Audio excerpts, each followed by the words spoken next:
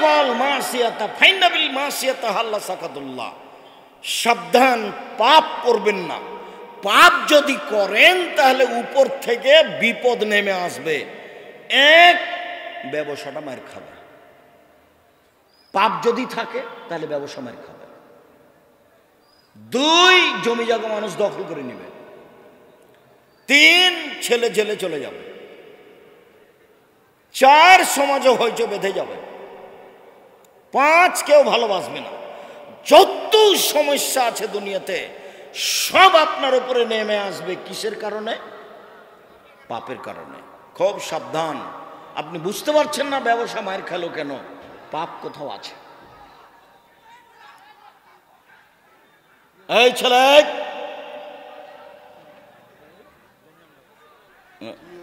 না, শুনেন, কিছু হোক আর না হোক। ওইদিকে কেউ যাবেন না। এই ছেলে! বসো। সম্মানিত দিনী ভাই বোন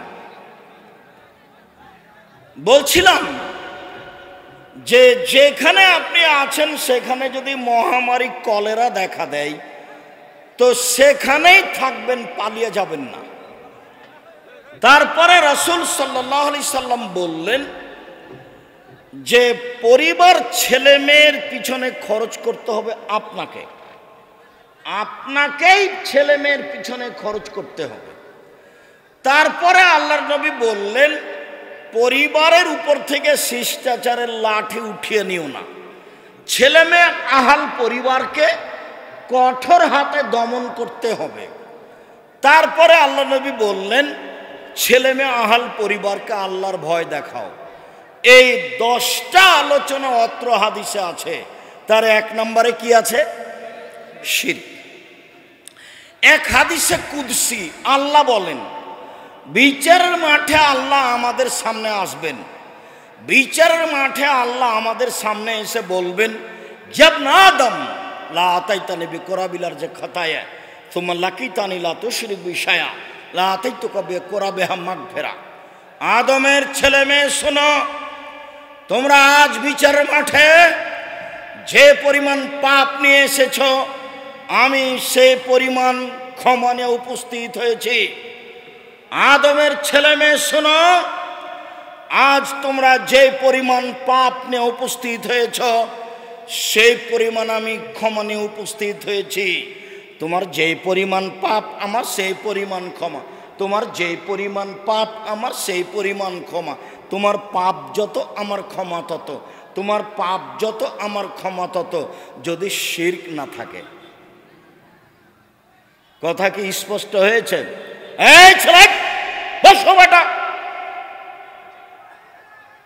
পা নড়াবা না। তোমাকে যেন আমি নড়াচড়া করতে না দেখি, তুমি যেন বসে থাকবে পাথর হয়ে। পাখি যেন তোমাকে মনে করে পাথর। কথার সাথে বেয়াদবি করে দেখাবেন না কিছু। আপনাকে পরিবেশ কন্ট্রোল করতে হবে না। পরিবেশ কন্ট্রোলের জন্য লোক আছে। ওই দিকে নিয়ে যান দিয়ে সমস্যা দেখেন। আপনারা একবারে পাথরের মতো বসে থাকবেন। আমার কথাই ফলো হবে। এখন আমার কথাই ফলো হবে। বক্তব্যের সাথে মুনাফিক করবেন না কেউ।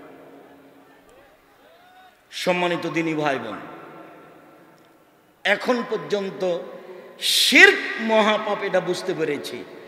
এবার আলোচনা করি শির্ক কীভাবে হয়। এক, আল্লাহ রসুল একটা লোকের হাতে দেখলেন তামার বালা। ওই যে রাবার থাকে না, এখন ঘড়ি সিস্টেম বালা নেই। এরকম একটা তামার বালা দেখে বলছে, মা হাজি, এটা কি? তখন লোকটি বলছে, হাজি মিনাল অহে না আমার শরীরে দুর্বলতা আছে তো, আমার হাত ব্যথা করে তো, সেই জন্য আমি বালাটা দিয়েছি তা আমার বালা। তখন আল্লাহ রসুল বলছেন ইন যে হা, তামার বালা খুলে ফেলো। অইন মোত্তাওয়াহে আলাইকা তুমি যদি মারা যাও, আর এ বালা যদি তোমার হাতে থেকে যায়, তাহলে ফলাফল জাহান্নাম। উপস্থিত পুরুষ নারী সবাকেই বলছি, আপনার হাতে যদি রাবার বালা থাকে এখন, যদি সুতা বাঁধা থাকে এখন, ঘড়ি সিস্টেম বালা থাকে এখন, এখনই খুলে দিতে হবে। মরলে জান্নাত। থাকা অবস্থায় মারা গেলে জাহান্নাম খোলাখলি। সিদ্ধান্ত নতুনভাবে বুঝার কোনো সুযোগ নেই। অষ্টাধাতুর আংটি যদি হাতে থাকে আজমির শরীফ থেকে দিয়েছে। খুলে ফেলতে হবে। একটা আংটি, একটা অষ্টাধাতুর আংটি, এক সেকেন্ড রাখা যাবে না। এক সেকেন্ড। এই মুহূর্তেই খুলে দিতে হবে। যদি তোমার হাতে এখনও থেকে যাই সত্যই তুমি মুনাফিক। তুমি আসলে এই বক্তব্যের সাথে মুনাফিক করো। শোনো, জাতির যদি রাস্তাঘাট করে দিতে না পারি জাতির যদি স্কুল, কলেজ করে দিতে না পারি, জাতিকে চূড়ান্ত সঠিক ধর্ম দিতে পারব ইনশাআল্লাহ। ধর্মের ব্যাপারে জাতিকে ফাঁকি দিয়ে পরকাল হারাতে রাজি নই। এ কোথায় চূড়ান্ত। হাতে যদি অষ্টাধাতুর আংটি থাকে, মারা যান, ফলাফল জাহান্নাম। এই বাক্যের সাথে কোনো আপোষ নাই কিয়ামাত পর্যন্ত। আবদুল্লাবনে মসুদ রাজি আল্লাহ তালাহ বলেন রাসুল সাল্লাহ আলি সাল্লাম বলেছেন এনার রোকা ও তামায় মত্তেওয়ালা শিরকুন। নিশ্চয় ঝাড় ফোঁক করা শির